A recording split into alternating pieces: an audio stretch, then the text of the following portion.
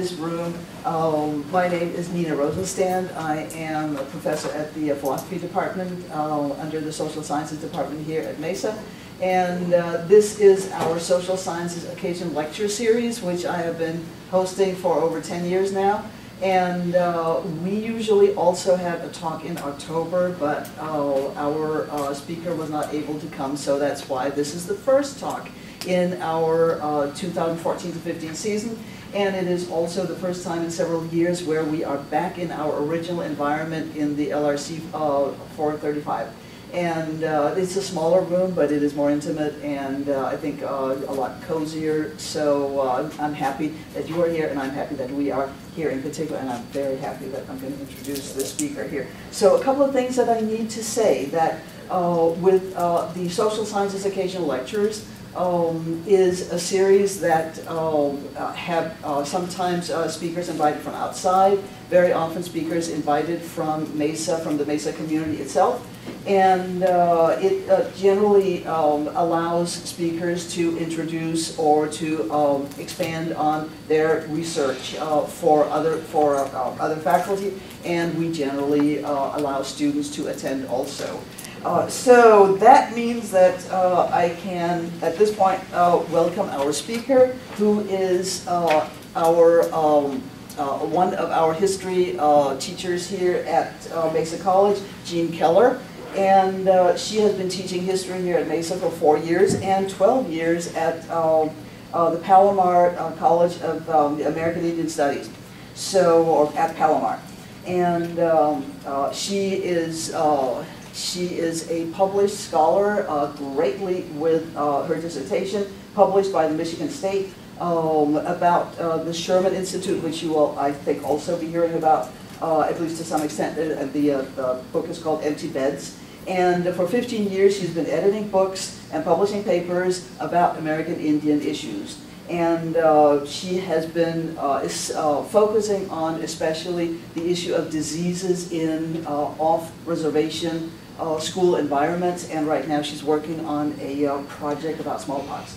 Uh, so I want to welcome Jean Keller and the title Away from Home.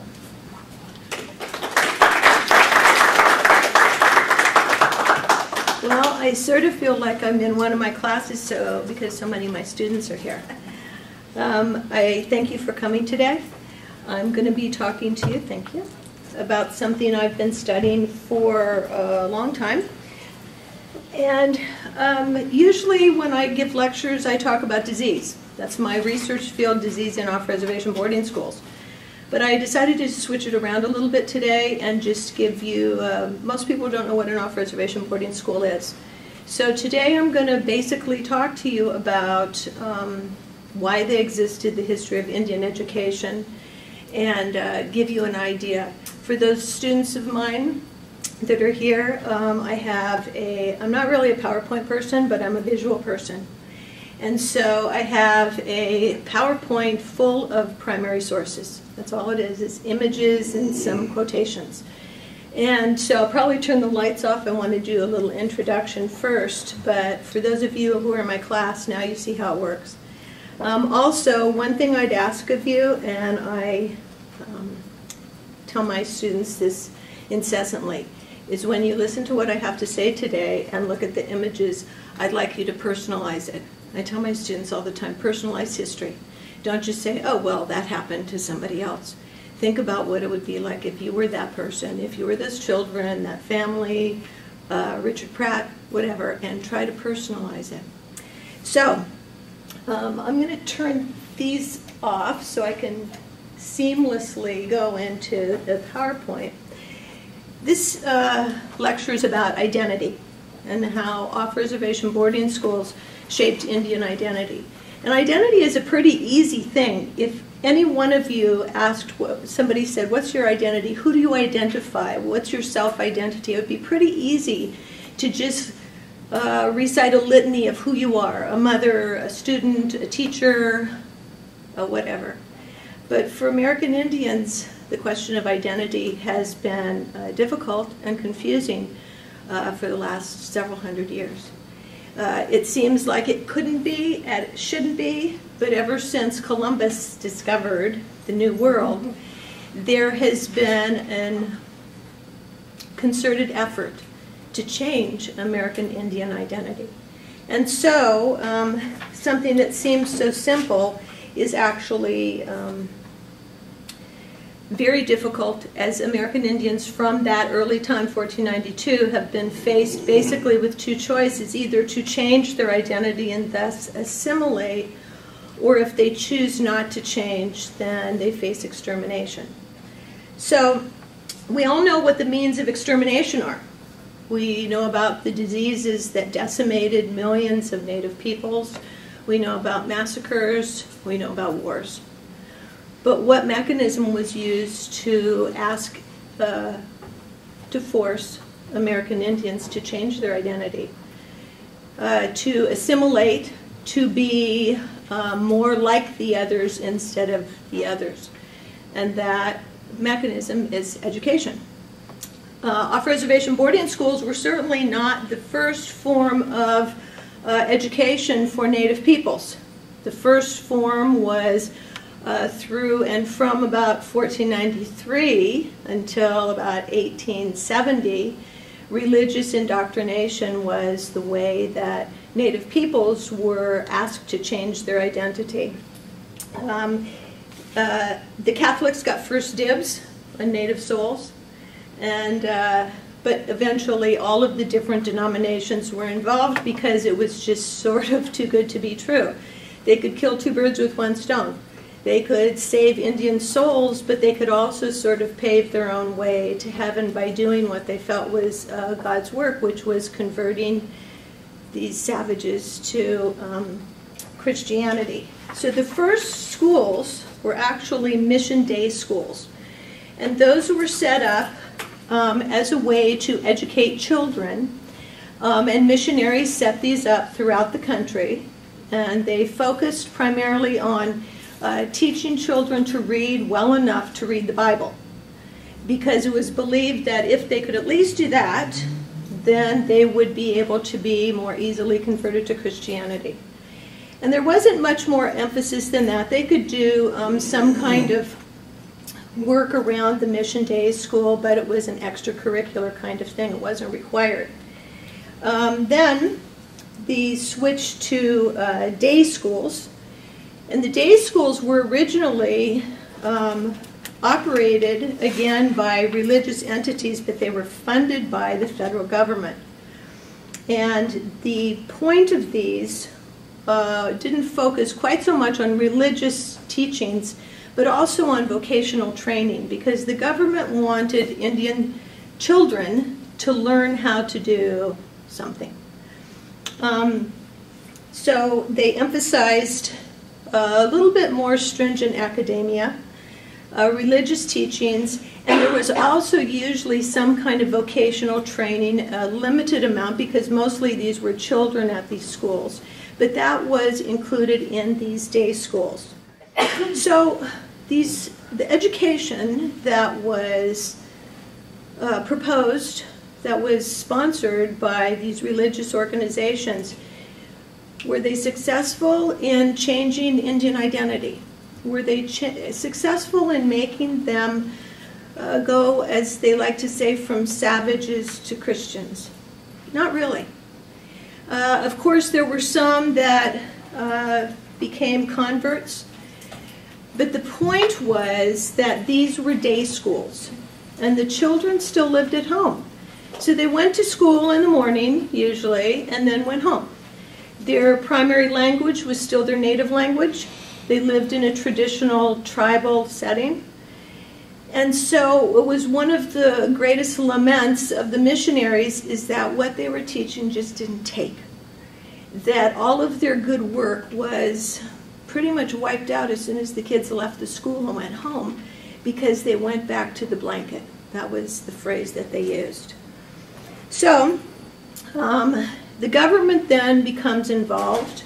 As early as 1918, uh, the United States government created what was called a civilization fund, and they allocated $100,000 for educating uh, the children of Western Indians and the Indian parents themselves. The point was to teach the children things like uh, how to read and write, but to teach the parents how to be farmers. And that was the big intent. They felt that if they could teach these Western Indians how to be farmers, uh, they wouldn't pose such a threat once it came time for people to be uh, going through Western expansion. Uh, by 1870, the federal government had taken on full responsibility for funding Indian education. That doesn't mean they ran all the schools, but they then provided, uh, Congress allocated $100,000 a year for Indian education. So um, with this change, with the federal government becoming more involved, there's two new kinds of schools that uh, are created. One is a reservation day school, and that was a school established on a reservation, and it was similar to the mission day schools in that the kids, uh, these were the children, went to the schools and they learned how to do things like um, reading, writing. It was an elementary school level, and usually they, there was a schoolhouse and the teacher's quarters and a garden, and the children were expected to work around there to maintain things, and that was their version of um, vocational training. Um, and then the second kind was a reservation boarding school. And this was uh, modeled after one that the Methodists started in as early as 1839, but the first government one, funded one, was in 1860 at the Yakima Reservation. And the reason for the reservation boarding school was that the reservation day schools didn't seem to take. The kids kept going home. So they said, well, the day schools the little kids can go to, but we're going to have the older kids come and live in a boarding school on the reservation. And what they did is they would have academic instruction half the day and work experience half the day although there was a priority on the work experience. And the point was to teach them uh, skills that would be useful living on a reservation or at least minimally uh, assimilating into white society. So uh, you have the problem solved of kids going home, and this was thought to be the solution because they didn't have to worry about them going back to their to the blanket. So did these two kinds of education funded by the government that didn't focus so much on religion but on assimilation, did they succeed in shaping the American Indian identity? Not really. And the reason for that is because the kids were still at home. The little ones went to the reservation day schools, and when they were done, they just went home. The ones in the reservation boarding schools if they felt like going home, they left the school and went home. If their parents decided to come visit, they came and visited. And so the same kind of problem uh, kept occurring. And Indian educators really were perplexed. They said, What else can we do? We're trying so hard to teach them basically to be white, to assimilate so that they can function in American society, and they keep going back to the way they live. And so the American Indian identity might have changed just a little bit because you had the added education and vocational skills, but it still remained that of American Indian. It hadn't really been successful.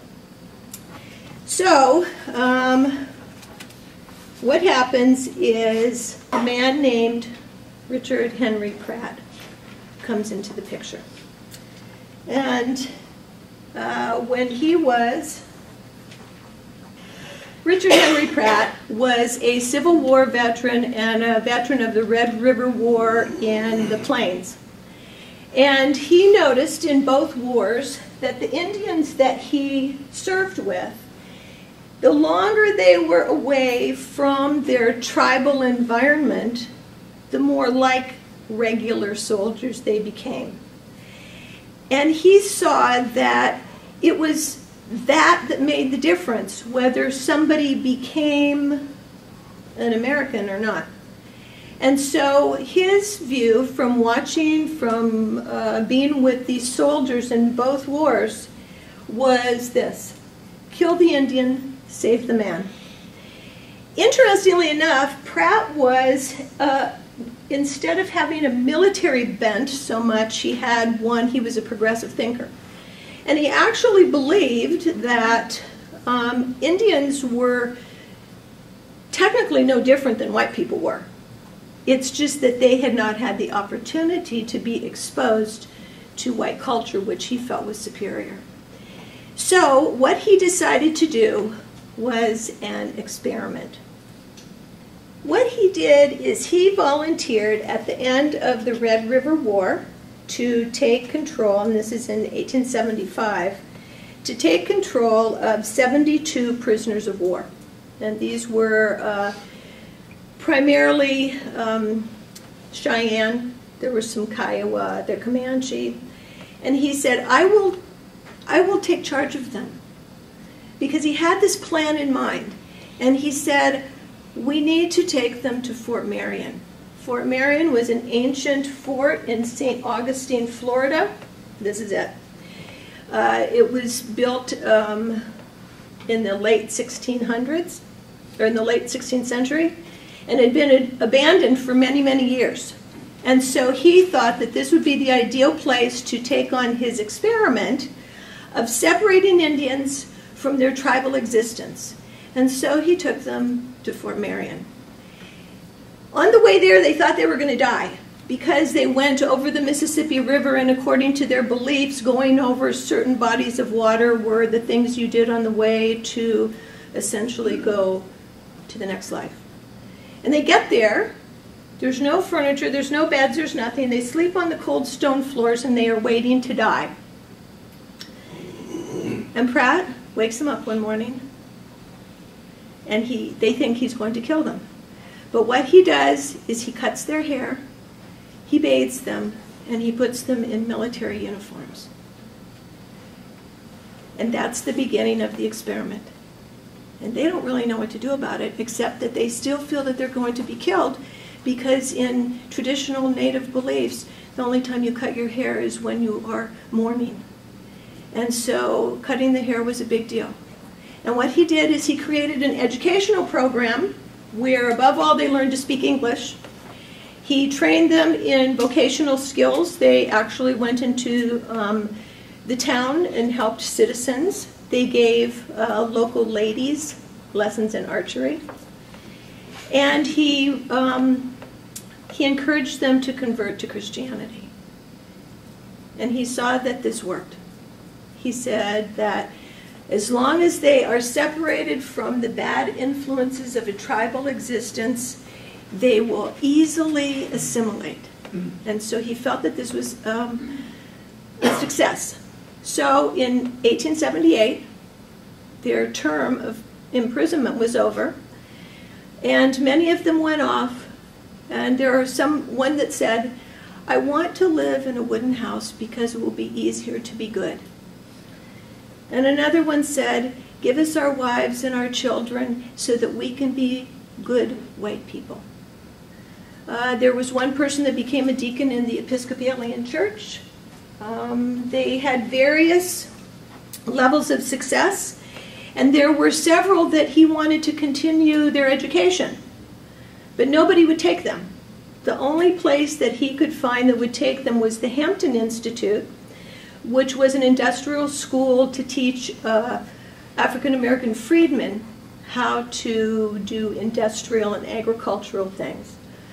But he didn't actually feel that his Indian students belonged there because, as progressive a thinker as he was, he still believed that uh, Indians were superior to the freed slaves, the freedmen that were at that school. And so he decided that he wanted to create his own school. So he used this experience as the foundation for his school. And this is an important part of it. This is a photograph that he took the day they arrived in Fort Marion. And he documented that for a particular reason, because this is what they ended up like. And you can see the difference. This one thing, photography, created the foundation for the model of his off reservation boarding school. So, uh, Pratt decided that he was going to start a new school using the experience that he had learned at Fort Marion. And so he went to Congress, he went to Friends of the Indians, he lobbied everybody. And he says, Give me 300 young Indians and a place in one of our best communities, and I will prove it. I will show you how to solve the Indian problem. And so finally, uh, he had proposed uh, allowing the school to start at Carlisle Army Barracks because it, it was in Carlisle, Pennsylvania, had been abandoned for a long time. And he said it was in a perfect community, an agricultural community full of um, law abiding people who had no prejudice against Indians at all. And so it would be perfect. Well, he got approval for that. This is it fixed up a little bit, but really about the way it looked by the time he got there. Um, it was not built for being a school. Um, it was an abandoned army barracks, but he felt that he could make it into the same kind of success as um, Fort Marion. So, what he had to do then, once he got approval, is he had to start recruiting students. How do you go about doing that? So, he went back to the plains because that's where he had had the most success in uh, getting to know leaders.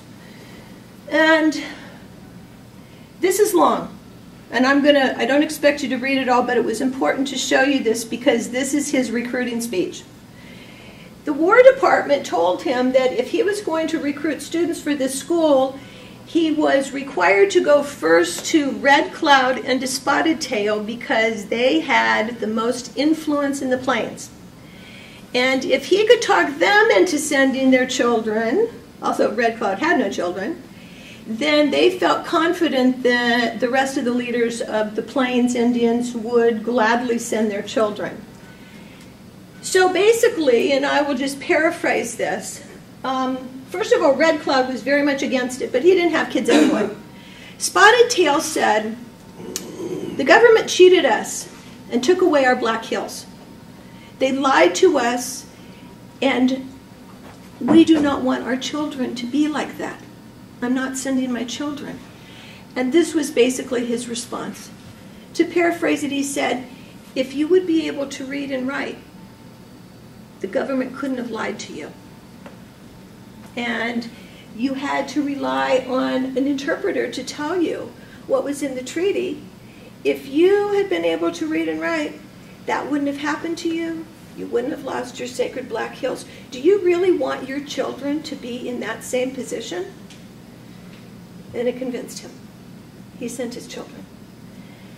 And that made a big difference to some people there were already people like this is this is a leader named American Horse.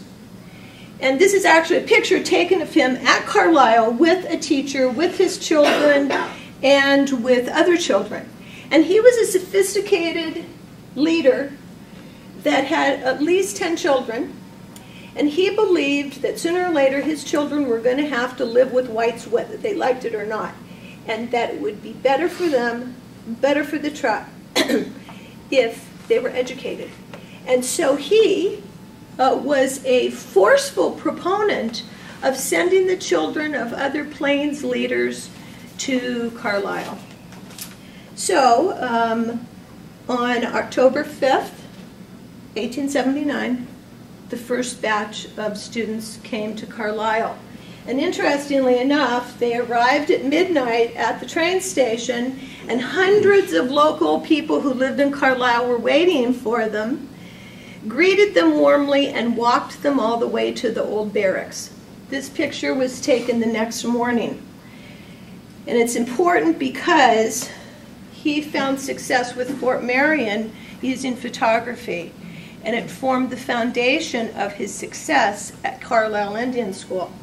So the first class had 82 boys and girls, um, and by the time the, the school formally opened on November 1st, there were 147. Uh, the youngest was six years old. The oldest was 25. Most of them were teenagers. Um, Two thirds of them were the children of Plains Indian tribal leaders. They were setting an example for others.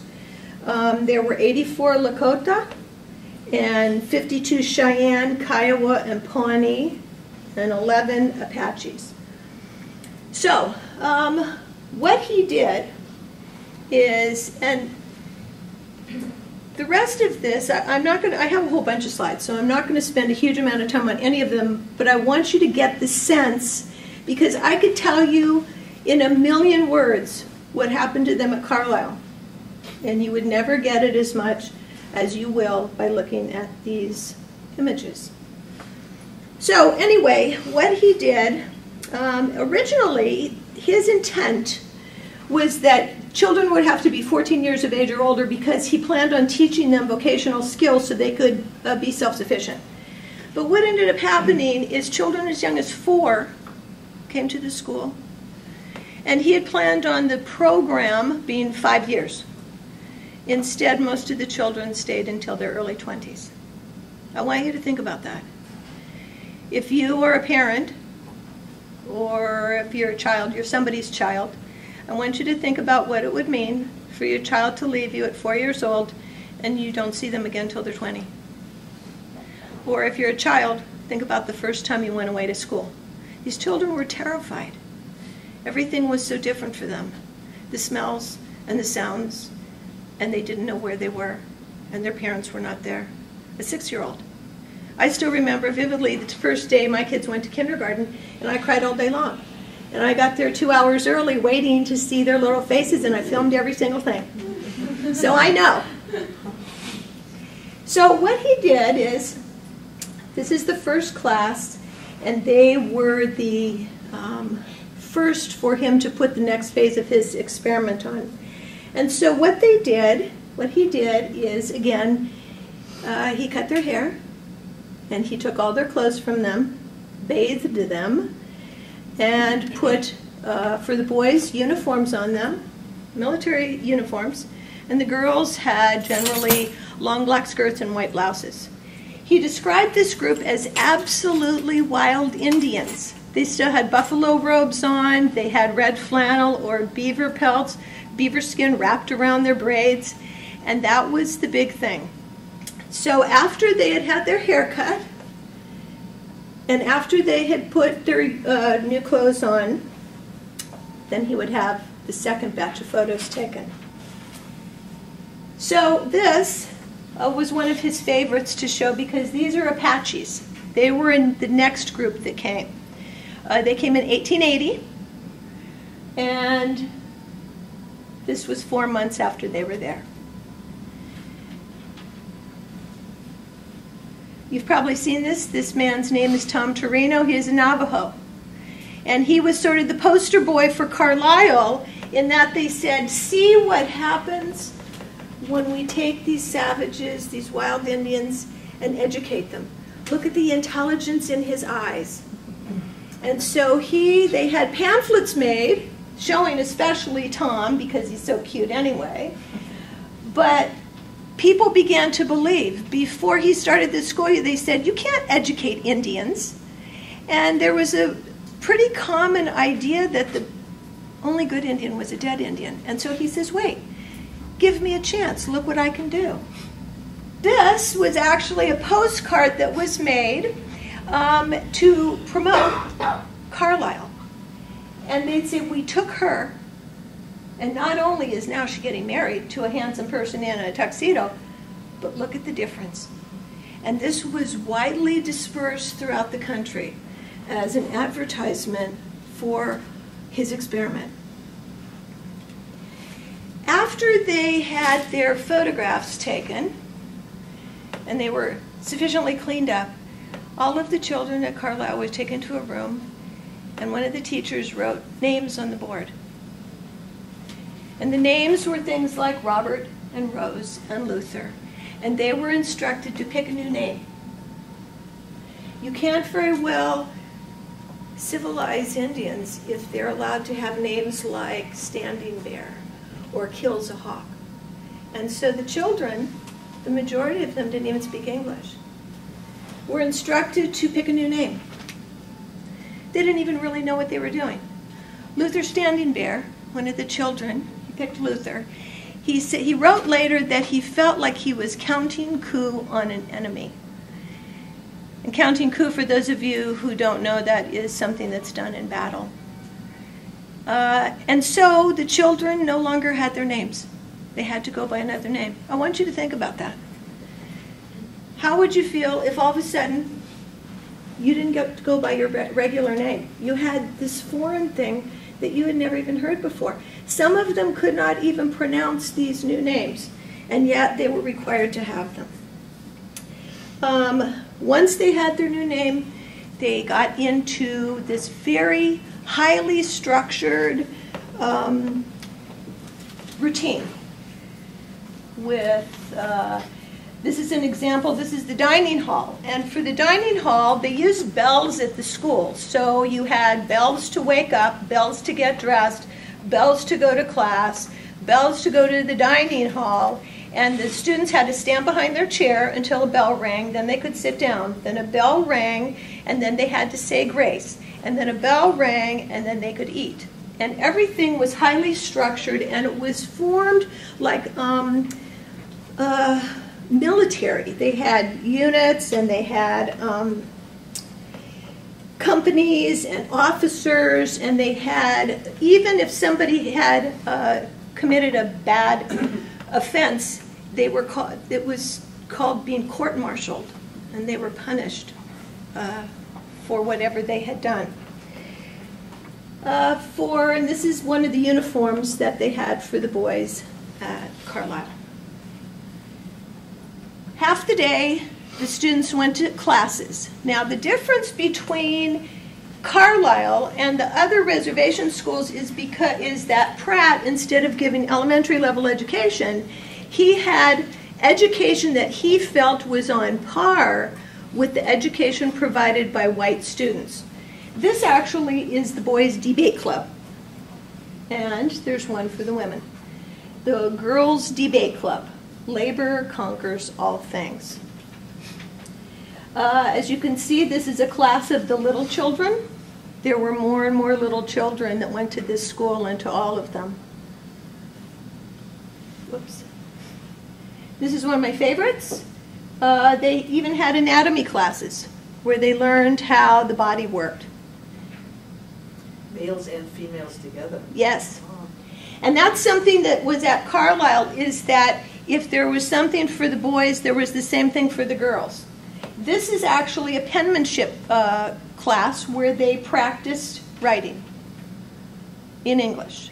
And when the children came there, very few of them spoke any English at all. The few that had a, a, a cursory kind of um, understanding of English were used as translators for the rest of them so that they could get into the mode, but only English was allowed there. And if children were caught speaking their native language, they would be punished badly, uh, beaten. He also felt that it was important that these Indian children be introduced to the finer things like art. Art, especially, uh, because he felt that civilized people knew about art. Now, when you're looking at these, I want you to think back to those before pictures so that you can really see how their identity is changing. The second half of the day was for industrial training for the boys or domestic training for the girls. Uh, industrial training would be anything from carpentry to blacksmithing, um, making wagon wheels, making shoes. And I want to go back to that blacksmith thing. They're taught, this very one small thing is so significant. Indians didn't shoe their horses, ever. Americans and Europeans shoed their horses. And so one of the first things that they did is they taught the boys how to make shoes for horses so that they would be able to come into a more uh, civilized way. Uh, girls were taught things like how to iron, how to sew, how to weave, how to take care of children as though they had never taken care of children before or done any of the others, how to cook, how to bake. Uh, the boys made all of the shoes for all of the children at the school. The girls and some boys in tailor class made the clothes and the shoes for the school. And in that way, they also they learned a skill, but they were also self-sufficient. Girls learned uh, how to set a fine table, how to serve food, how to have proper etiquette when you have guests. Uh, there were also exercise classes for both boys and girls. Pratt believed that um, exercise created strong minds and strong bodies. And they had these. This is the girls. You can see that they are in rows, um, as are the boys pretty much. And what they would do is this served two purposes. Number one, the big focus at Carlisle was on creating individuals, which is antithetical to the traditional way of thought, which is each person is responsible to and for the group. At Carlisle, the belief was civilized people are competitive and greedy and individualistic. And so things like exercise were taught for, first of all, to make them healthier, to make them compete against each other, and as a PR mechanism. They had, especially the girls, they would invite people to come and watch this to show what the school had done. Anybody that can do those kinds of hard things has to surely have been uh, more advanced than they had been when they got there. They also had team sports. This is the famous team of 1916, and here's Pop Warner, and here's Jim Thorpe. Pop Warner, for those of you who played Pop Warner football, he got his start teaching Indians at Carlisle Indian School.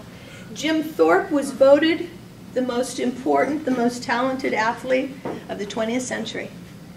And here they are. Interestingly enough, um, and we have also the baseball team. Because these kids were usually a little bit older, especially the football team, they didn't play other high schools, they played the Ivies. And so they played Yale and they played uh, Dartmouth and they played Harvard. The uh, Sherman team, which is my school out in California, played a football team, a football game against USC. And by halftime, they were creaming USC so much that the little whiners got off the field and said they had other stuff to do and went home. uh, music was a huge part of Carlisle because they believed that music soothes the savage beast.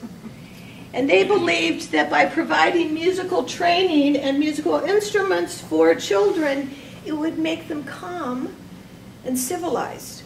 But it was also used as a huge PR thing because they took the bands on the road. And they had one, this is the girls' mandolin and guitar group. They entertained, they invited people to the school, said, look what we did with the Indians they could play music. And if we just had more funding, think of how much more we could do. And so the sports teams, the exercise people, the musicians, and the drama people were used as uh, public relations tools. Um, they actually had several plays where they were dressed up like Indians.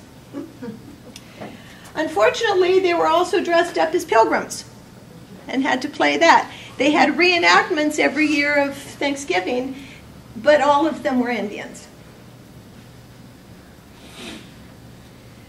They also had an outing program. The outing program basically is what we would call an apprentice program.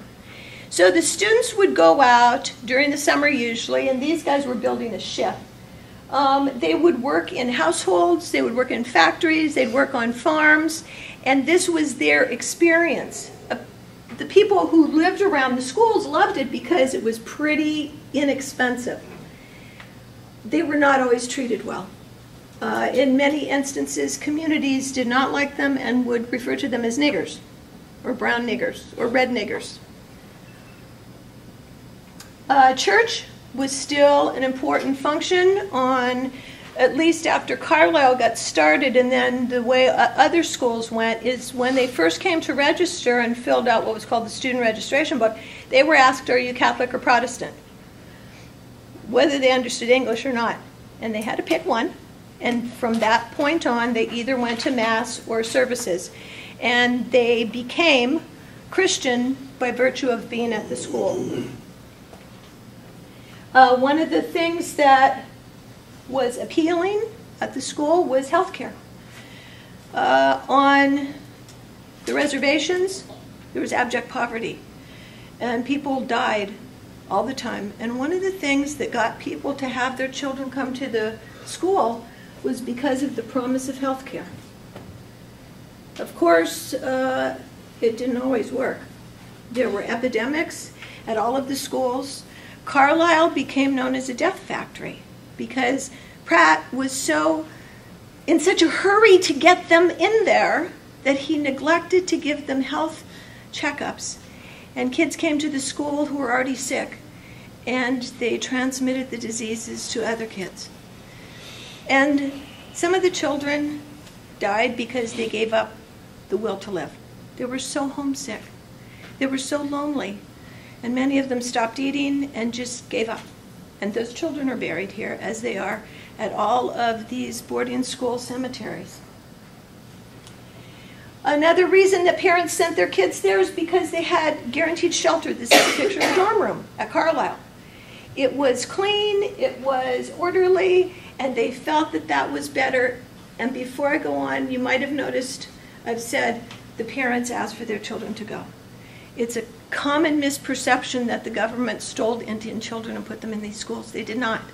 I know of only one case with the Hopis where actually the army held the parents hostages until they agreed to send the kids to the schools. Children had to apply to go to these schools. Their parents had to apply to let them go, and how heartbreaking is that? But the problem was on the reservations, what was the alternative? Living in poverty, being sick, not having enough food, not having shelter, and so they did it for the good of the children. And as a mother, I understand that. And that's why this has been such a personal kind of thing for me because as a mother, I always think of what I would have done. One of the other things is that they had plenty of food. Each one of these schools had a farm that provided fresh produce and dairy food.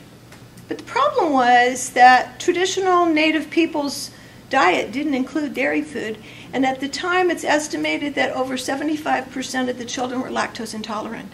And yet, they had to drink milk, buttermilk, butter, cheese, all of those things. And if you're lactose intolerant or know somebody who is, you can imagine how horrible that was. But they also had uh, white flour and sugar, their diet completely changed, and that was the beginning of the health crisis that many Native peoples have today with diabetes and heart disease and hypertension. Um, they were taught about nutrition and how you get the best parts of certain animals. So these were kids learning to be farmers and dairymen this was another PR thing. And this was sent out and said, look at all these noted Indian chiefs. They all have visited. They've all given their stamp of approval. They've sent their children. And if these guys are good with it, shouldn't you be? Shouldn't you support us and shouldn't you send your children to us? You saw the first picture, the first class, the first 82 children that came. From 1879 to 1918, over 10,000 children went to Carlisle from 140 different tribes. 158 actually graduated, having gone through a full program. And so you see the children from the tiny little ones. This is one year's class. And so it shows you that this was perceived as a success. This was the first graduating class. Um, they thought that everything was going to be different after that. You can see that they're sort of like excited in a sort of somber kind of way. And weirdly enough, do you know why they were somber? Because they were sad to be leaving. They were sad to be leaving. Um, this was their newspaper. I only have like three more of these things, but I want you to note here this is indicating the past life. The old, the teepee, the horses, and now what is he? He's become a farmer. And this was an issue about the success of civilizing Indians. And this was pretty common too. This is a picture, this story in this magazine is about this girl who was a student at Carlisle and she went back to visit her tribe on the Pine Ridge Reservation, and everybody just thought she was splendid. It didn't usually work out that way. Again, this is a really long thing, and you don't have to read it, but I'm going to tell you basically what it's about and the reason that I'm ending it with this.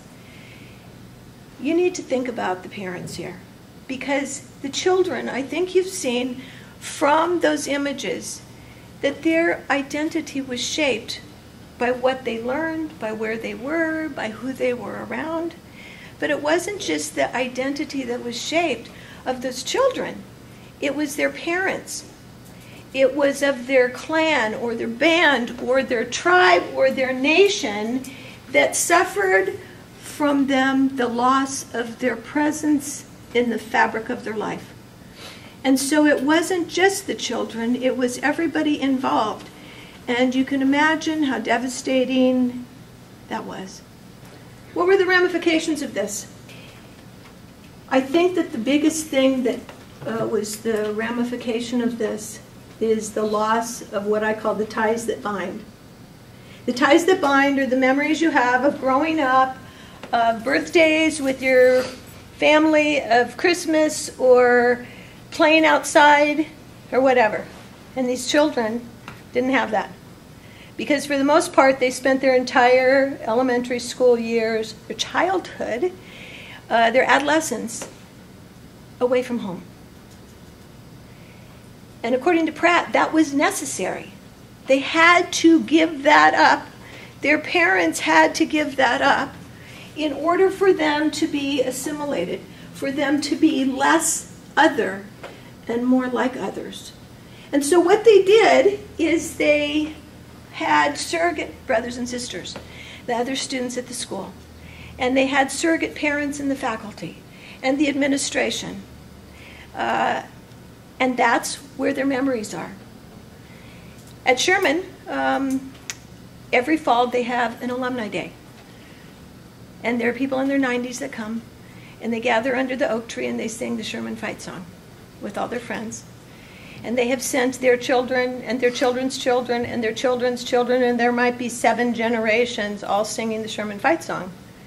Because the thing is, that's where their memories are. The second thing that is the most critical is loss of language. If you have a loss of your traditional language, how do you communicate with the ones that you love? There was a man named Sid Bird who went to the Genoa school when he was a small boy.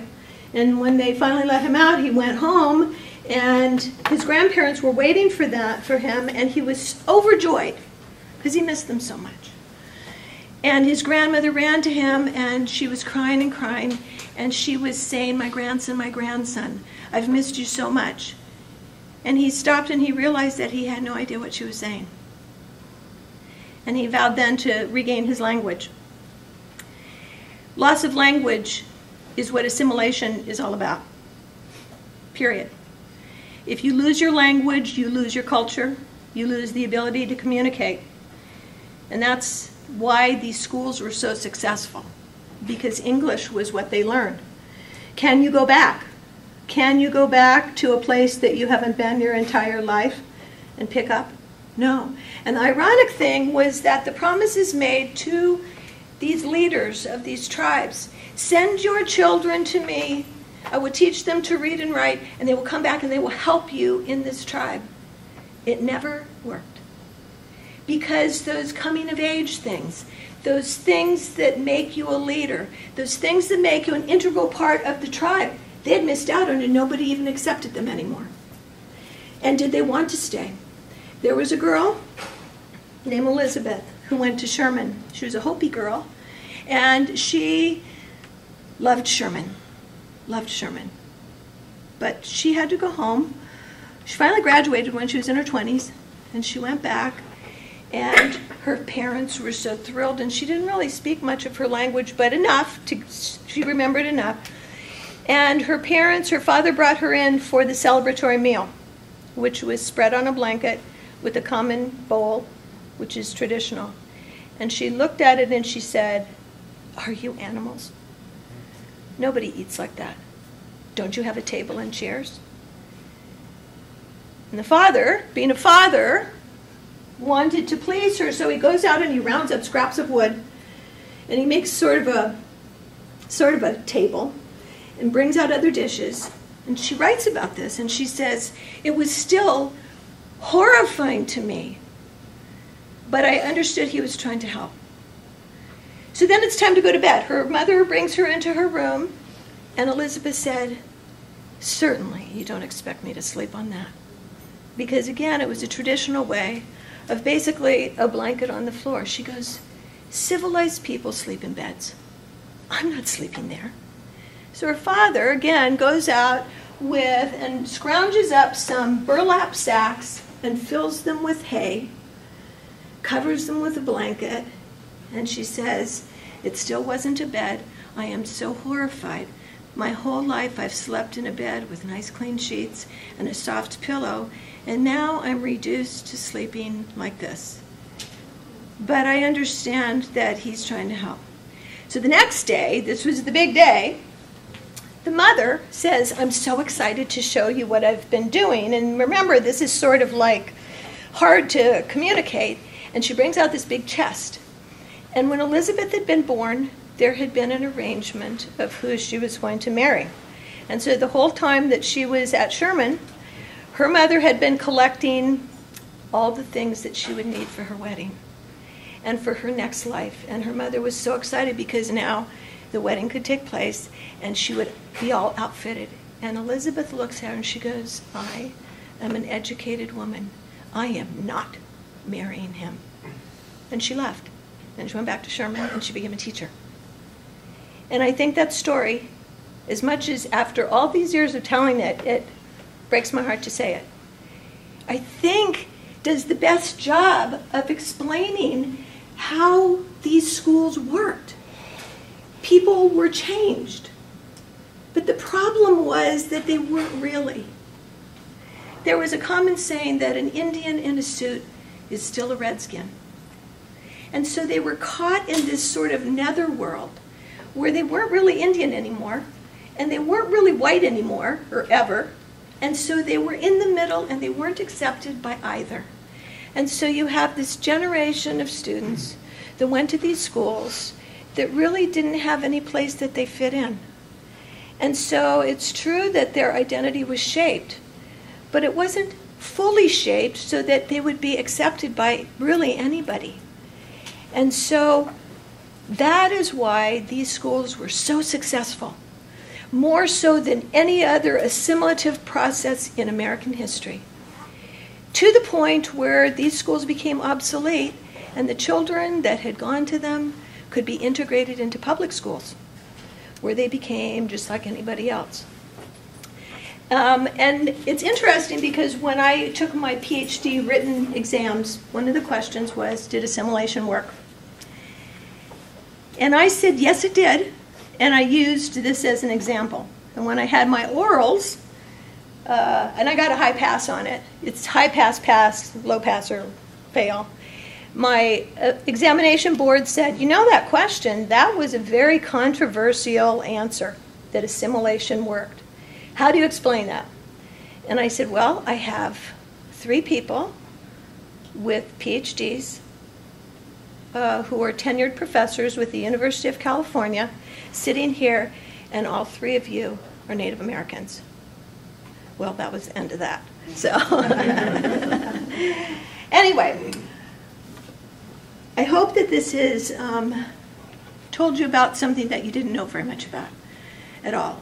I usually, when I lecture, I usually lecture about disease, but most people don't know about this part of history, and so I thought it was important to give you something to think about. So, any questions? Yes? What does uh, Sherman and Riverside, I think, off 91 and Mhm. uh, Adams, Mhm. and there about, what, what, it still exists, I know my sister was there. It does. It's one of only four boarding schools, but now it's Sherman Indian High School since 1970.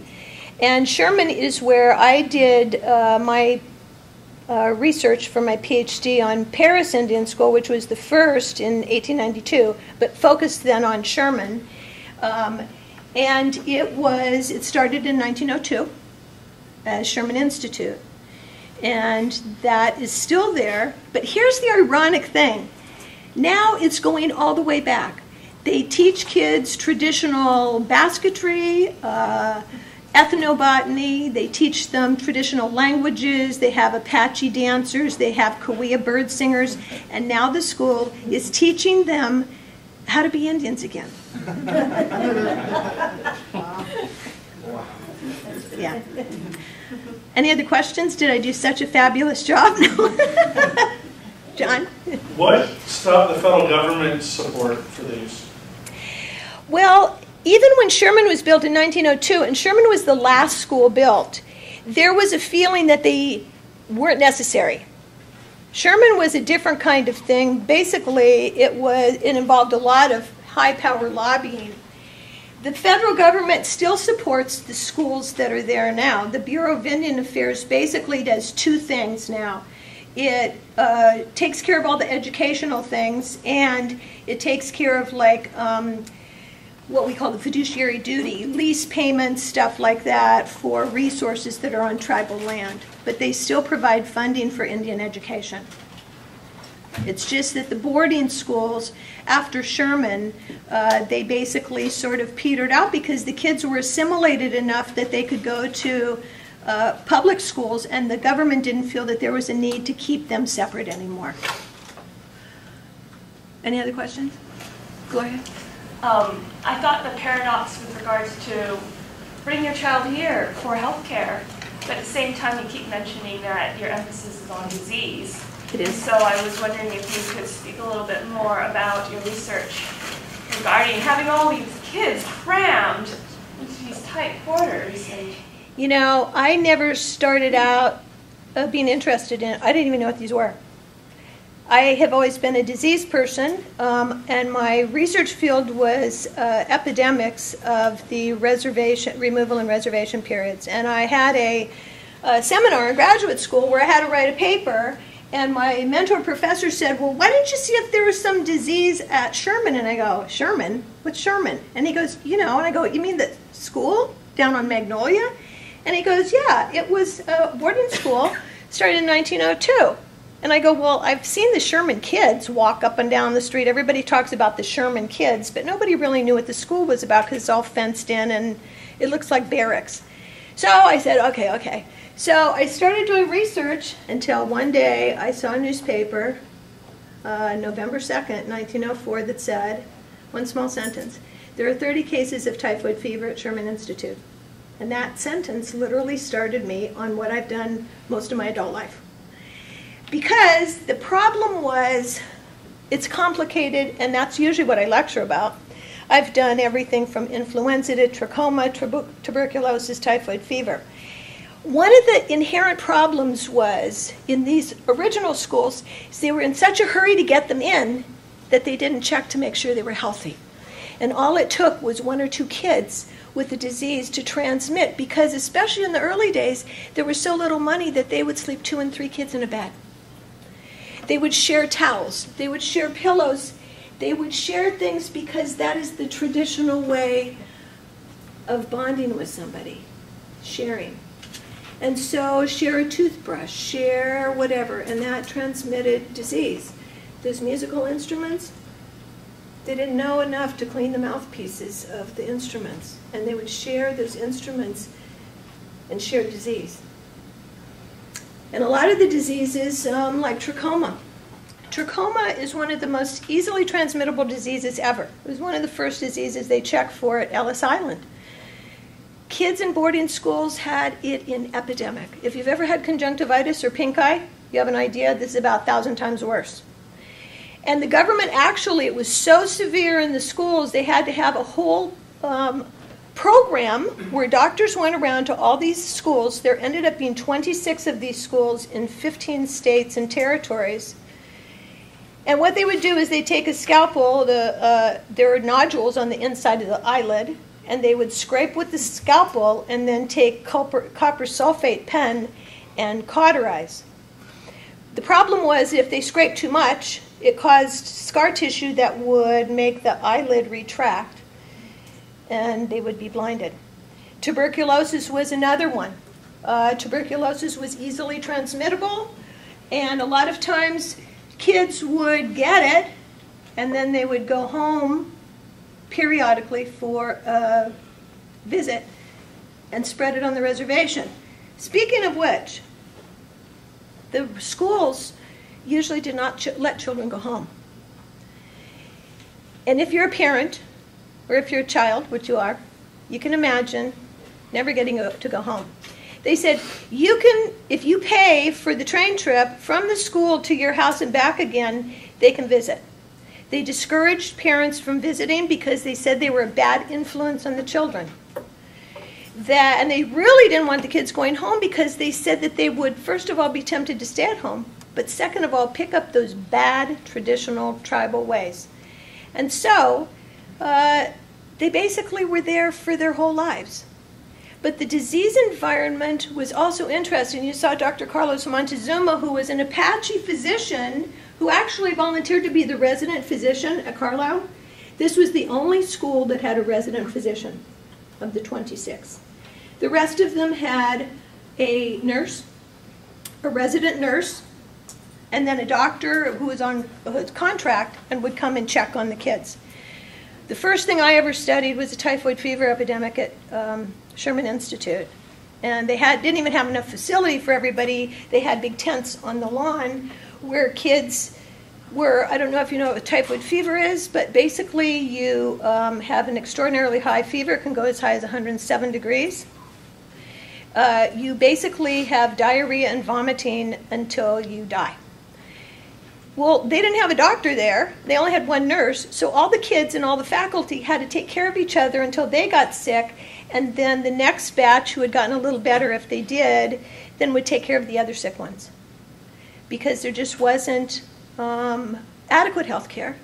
And at Sherman, interestingly enough, Harwood Hall, who was the supervisor, decided that he would, instead of building a hospital, he wanted to build a 6,000 seat auditorium because he was so sure that people would want to come and see the musicals and the plays and the concerts. And he figured that he had given good health exams to all the kids, so big deal. They weren't going to get sick. And they did. The problem was is that you have this close contact with the children and there was never enough medicine to take care of everybody and there wasn't enough um, healthcare practitioners uh, the most recent thing, I know I'm sort of dragging on, but those of you who are in my class know I'm a storyteller. I can just go on and on. I, the most recent thing I published and presented on is the nursing program that was at Sherman. And they hired a woman named Mary Israel, who actually was a doctor, but couldn't get a job. So they hired her as a nurse. And she gets there and finds out that she's supposed to be responsible for a thousand kids. And she goes, Well, that's not going to happen. And so she creates a nursing student program based on what she had learned in medical school. She had never been a nurse, so she didn't know how to do that. And so she trained these girls how to do materia medica. They had to make all the medicines for everybody in the school. They did the operations, they did all the physicals, everything. And they, to the po- at one point, they were so experienced and didn't have enough sick kids to work on, they were able to help work at Riverside General Hospital, aiding uh, in operations because it so happens that the contract physicians at Sherman were the head of the uh, medical board in Riverside. And so they let them do that. They finally built a hospital that cared for all of the Indians in Southern California. And so, because they were so successful, the superintendent of schools applied to the board, of registered nursing and said, This is what our girls do everything. We would like to have them be eligible to be registered nurses. And the board said, Nope, sorry. In order to be a registered nurse, you have to have science classes. And so, Sherman didn't have science classes because that was considered one of those sort of esoteric kind of things. So they had the option of either creating science classes for them or they could go to the public schools, which they didn't feel comfortable doing. And so the program just uh, sort of fell apart till in the end they trained people to be orderlies and nurses' aides. It's really one of those sad things because here they were doing, they were trained with medical school curriculum, and yet it still wasn't enough because they still didn't have that kind of education. Any other questions? Thank you for asking. I could just chat about that forever. I know you, you don't want that. No other questions? Yeah, we do. Okay, well, thank you so much. No, no, no, Oh, oh, lots more questions. We don't get out of here that easily. Okay. Um, uh, just a couple minutes, I'm, I really apologize for that, but, um, I noticed that the year, it- it's uh, eighteen seventy-nine Mhm. when when Carlisle started, Mhm. and that is three years after Custer. Mhm. Uh, for goodness sake, uh, Mhm. there was, there was such a feeling in the nation, uh, you know, hostility toward, you know, all Indians. It's And, true. uh, were, was there any kind of backlash in the community? You said that they welcomed them. Well, it's he chose Carlisle for a particular reason. By about 1838, there really weren't any Indians left east of the Mississippi River. Because of the Indian Removal Act, uh, the Cherokee Trail of Tears was 1838, the Seminole uh, 1858, but they're down in Florida. So for the people of Carlisle, they have this empty barracks, and the idea of having Indians there, they were actually quite excited about it because they they weren't in the West, and that's the key here. They weren't in the plains. They weren't in the West. They were in the East. They hadn't had Indians around for a long time, so to them it just seemed like sort of a cool kind of thing. And hundreds of them waited at the train station for those kids to show up, welcomed them, and walked them all the way to the barracks. And they were very welcoming to them. If it had been anywhere else, uh, and people that heard about this program because it became very famous basically were naysayers. They said, you can't train Indians, you can't educate them. And at the time, especially people in the West wanted all Indians killed.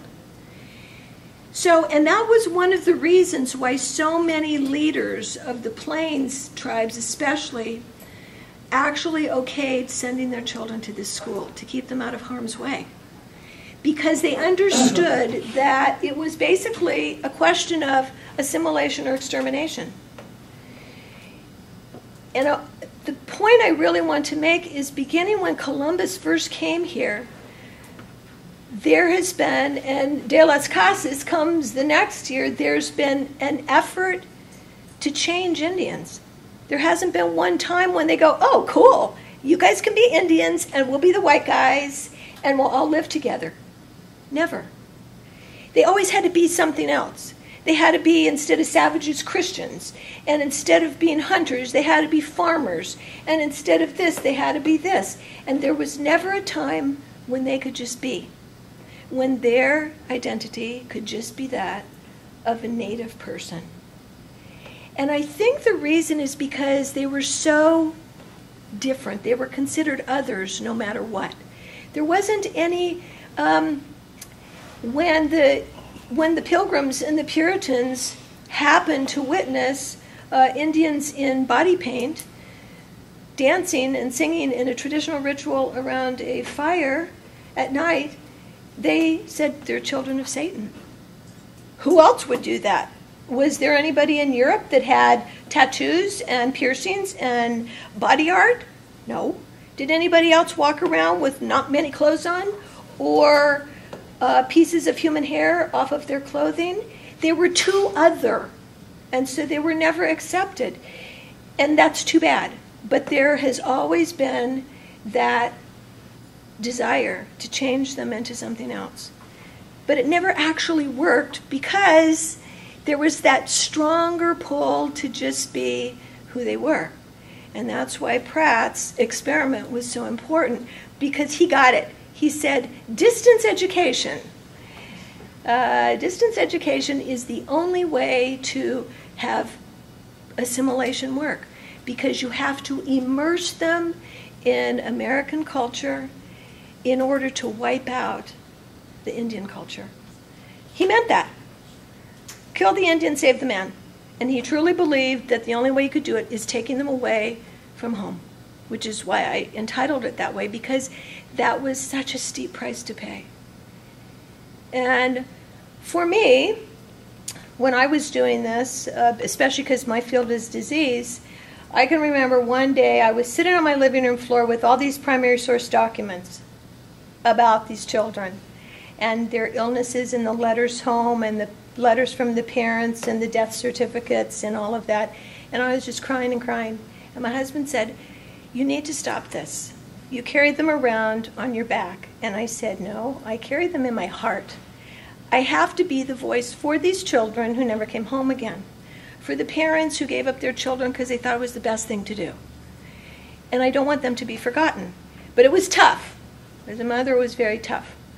It's tough for me to talk about it now because I can remember, like I said, the first time my kids went to kindergarten, and that wasn't even a big deal. But when I told you at the beginning that I really wanted you to personalize it, my students here hear that all the time. I pound it into their heads. Don't think of this as words on a page. These are real people. And so I'm hoping that by what I've told you today, you see history in sort of a different way. And the thing is, the sad thing is that this actually worked. It actually worked. Because now you have people, uh, how many people, how many Indian people in this country speak their traditional language? Not very many. Most tribes do not. Interesting, at Palomar, we have a person named Eric Elliott, who's a white guy, ironically, and he is a linguist and he is going around and teaching native languages back to tribes.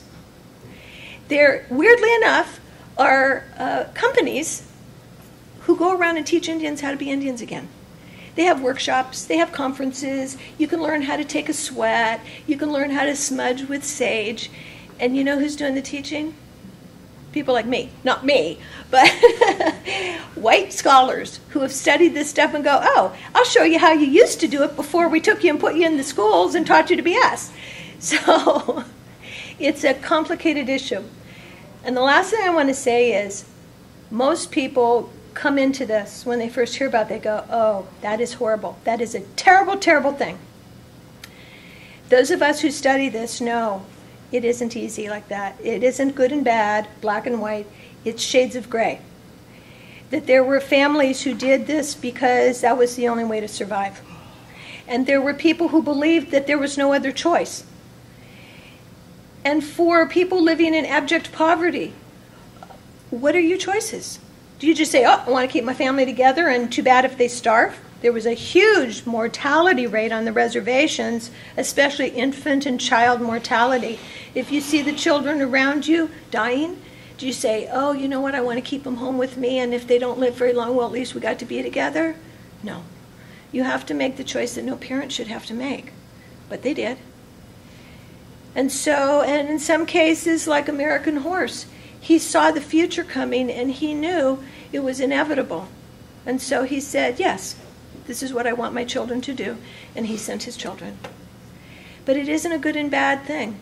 Interestingly enough, I, I show a video about this to my students and I have them write a personal reflection. What do you think about this? Because most people have never heard of it. And it's ironic because generally speaking, the majority of my ESL students think it was a good idea because it was a safe place to learn a language, a safe place to learn to acculturate, to assimilate. And so I've always thought that that was a pretty interesting way of looking at it. And it's true. So, any other questions? Okay? Well, first, thank you very much for presenting to us. That was that was great. Oh, Um, I just was wondering, is there a large-scale, like, st- statistical study that's followed um, graduates of the boarding schools and looked at their life outcomes in terms of growth and Well- education levels and the generations? Well, yes and no. The majority of students, and I mean the vast majority of students who went to those schools have never been heard from again. They don't go on. Especially the early ones. You might have heard I said there were over 10,000 students that went and only 158 actually graduated from the program. Yeah. And the problem is, and Pratt was insistent upon them not going back to the reservation. He felt it was a personal betrayal if, after all he had done for them, they went back to the blanket. And yet, they couldn't survive in the white society because, exactly what she said, there was this feeling of hostility. Where are they going to go? Who is going to say, oh, yeah, you're an educated Indian, let me give you a job? And so a lot of them just disappeared back to whatever. Because the problem is, especially if you were at a school for a long time, you weren't welcomed back to the reservation either. And in many cases, you couldn't even communicate with anybody there. So the vast majority, we actually don't know what happened to them. They just sort of go wherever they can go.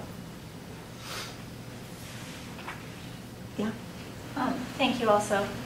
Um, So from 1879 to 1918, did I get that right? 10,000 children approximately went Through Carl, through Carlisle, yes, That was only through Carlisle? yes. And only 158 graduated? What, what were the, From the program. what was the criteria to graduate? Well, uh, Pratt had this five-year plan that you would go through five years of education, and that would make sense because originally it was supposed to be you couldn't go there until you were 14. So five years, you're 19, you're an adult, you go off. And so you had to take certain classes to uh, be skilled in certain things, and you had to go through this actual program. And not everybody did. Uh, Some people did not ever do well in the classes. Some people ran away. A lot of kids ran away. A lot of kids died. And uh, some left and came back and left and came back. And so it broke up that pattern. So there were people that left the school with education, but there were only 158 that went through the prescribed program that he had originally proposed. Yeah. Well, you could see the difference in that almost last thing. That's how many kids were there at, in one year. Thank you. Was there another question? Nina? I am so appreciative that you have given us this impression of, of the whole ambivalence of the, the project. I've been interested in this for years, and I've never heard the positive aspect of it. I've always only heard the negative, uh, you know, the, the cultural genocide. Uh, you know, that's you know, what I've been uh, you know, told.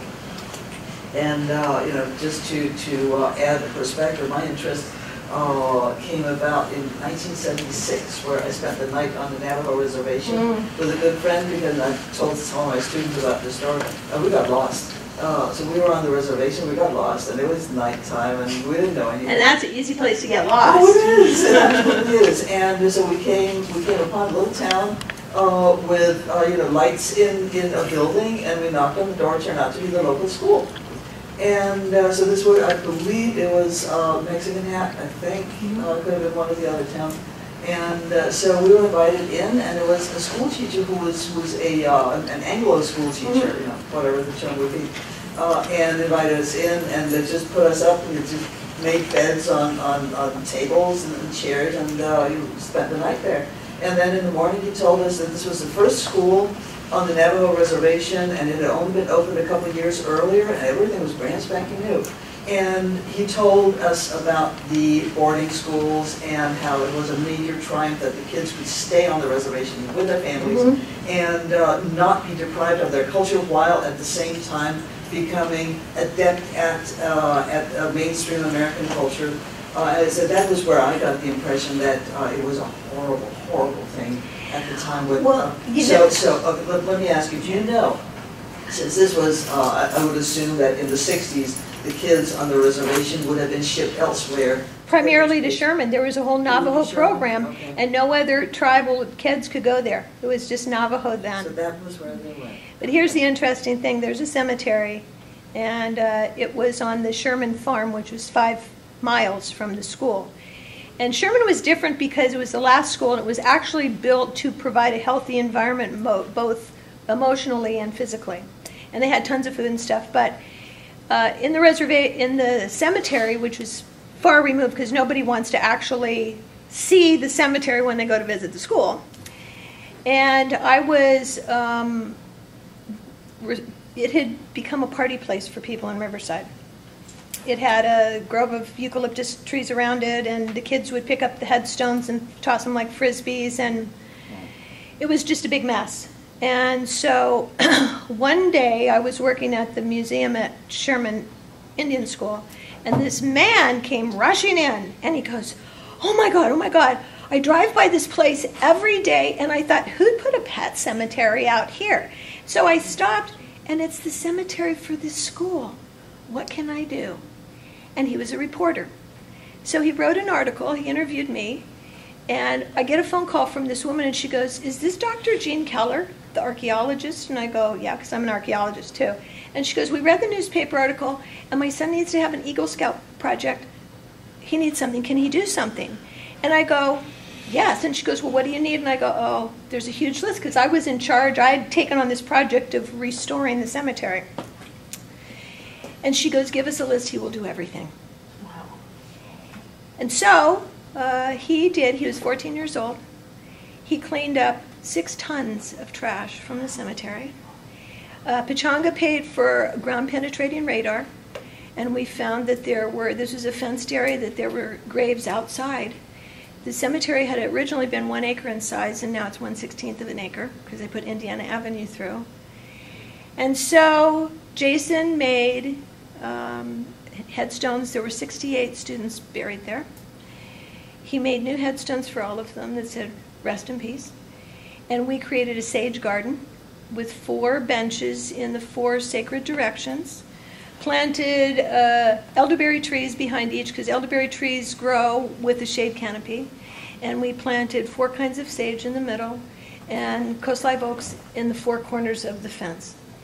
And in the, he did all of this himself. And in the research, we found out that the majority of students buried there were Navajo children.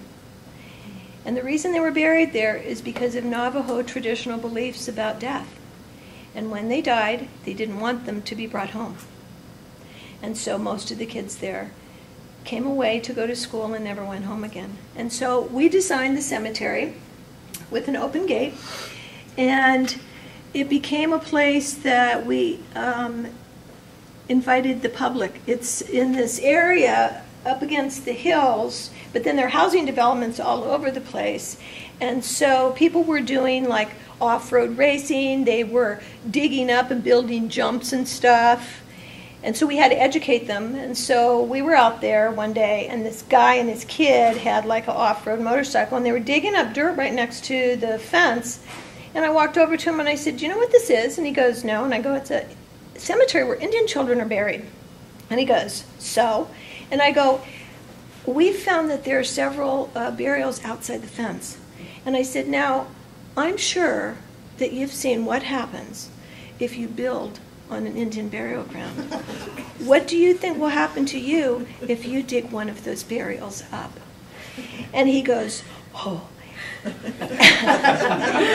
because of that, he spread the word to his other neighbors. And it became sort of a neighborhood project where they'd go and water and they'd pull weeds. And on May 3rd, the kids from Sherman and the neighbors come and put flowers on the graves. And people come and sit at the benches. And I tell them, we want you there because we need to have these children have company. Their parents aren't here, so you can be. And so this became this big community thing where now the people that live in that neighborhood, instead of digging up the dirt and building jumps, come and hang out with the kids and pay their respects. And um, it just ha- had a nice ending because these kids, you can imagine what that's like. I can't imagine, and I had to deal with it for years when I was doing my research. I still deal with it. And my mom used to live there, and she'd drive by and she'd go, Jeannie, you better call Lori because there's weeds growing up. And then pretty soon the weeds would be pulled, and people would stop by if they saw anybody messing around. They'd go, Do you know what this is? And so it just became sort of a sense of community ownership of the lives of these children. So, but that's a long way to answer your question is that during that period of time, only Navajos were allowed to enroll at Sherman, and unfortunately, a lot of them never went home again. Well, that, that puts it in perspective why he was so proud of that school. Yeah, yeah. Anything else? Any other questions? Okay, well, thanks for coming. Thank you so much.